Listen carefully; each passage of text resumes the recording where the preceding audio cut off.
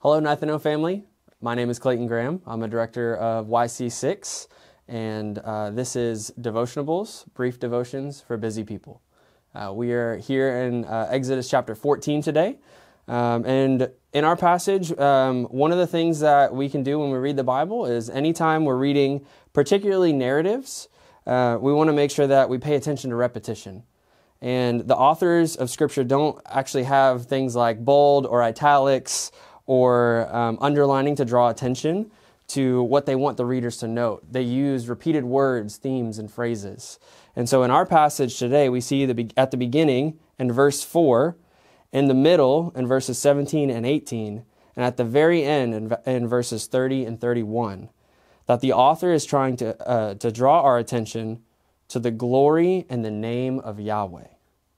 In the ancient Near East, um, the name is more than just um, the syllables or the utterances and the sounds that we make when we, when we say someone's name. Um, what they're trying to draw attention to is that a name represents someone's character, who they are, their reputation. And if you've been reading along with us in the book of Exodus, you might think that uh, this sounds familiar. Back in Exodus chapter 7, verse 5, this is exactly what Yahweh is doing through Moses when he confronts Pharaoh and he sends the ten plagues. It says in verse uh, 5 of chapter 7 The Egyptians shall know that I am the Lord. Yahweh is revealing himself through his interactions with Israel and their captors.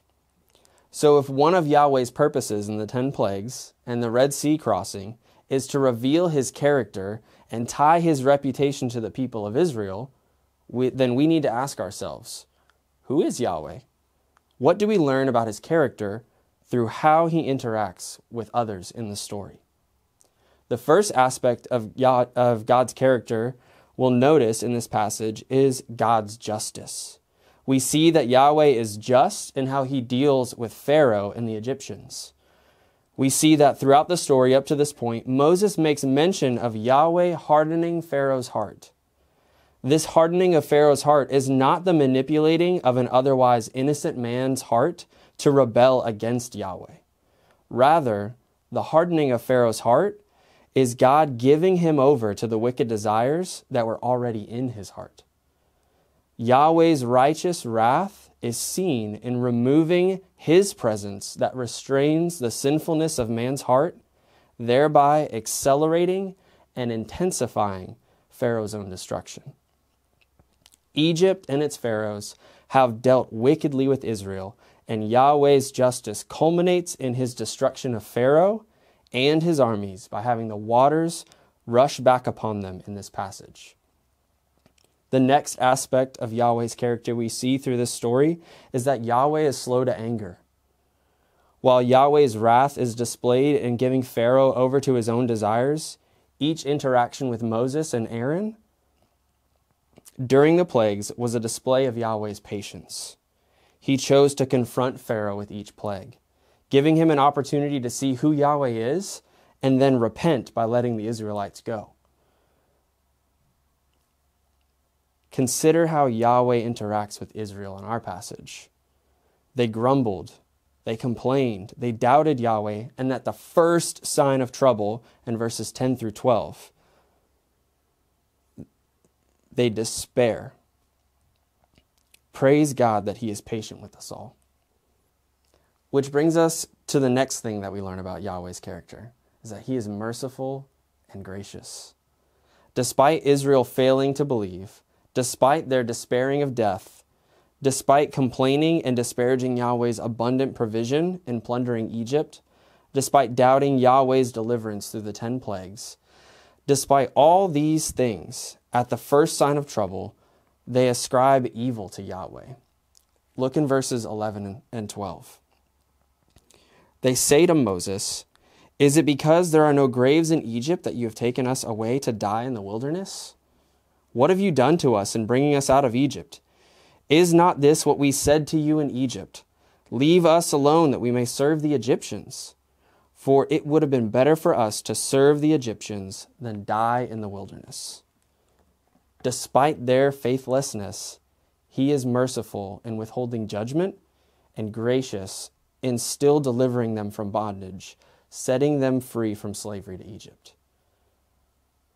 The last aspect of Yahweh's character that we see in the Red Sea crossing is not only that Yahweh is just, he's slow to anger, he's merciful and gracious, but he is also powerful and strong enough to save.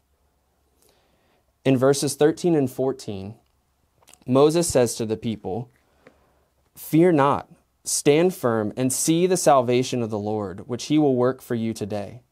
The Lord will fight for you, and you only have to be silent. And our passage ends in verses 30 and 31 with Moses recording, Thus the Lord saved Israel that day from the hand of the Egyptians, and Israel saw the Egyptians dead on the seashore. Israel saw the great power that the Lord used against the Egyptians. So, how does Israel respond to Yahweh revealing himself through the plagues, the Passover, and the crossing of the Red Sea? In verse 31, Moses records The people feared the Lord and they believed in the Lord. Israel's response is our response. They respond in fear and belief at Yahweh revealing his character through the great power he used to save them and set them free from slavery to Egypt. We have a greater reason to respond in fear and belief, as Jesus has come to bring about a greater exodus for his people. Jesus came to satisfy the justice of Yahweh and the mercy and grace, and extend mercy and grace through his death on the cross.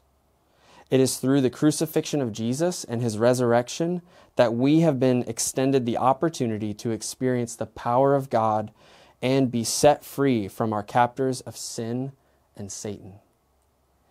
It is in the cross of Christ that we see the character of God on bright display.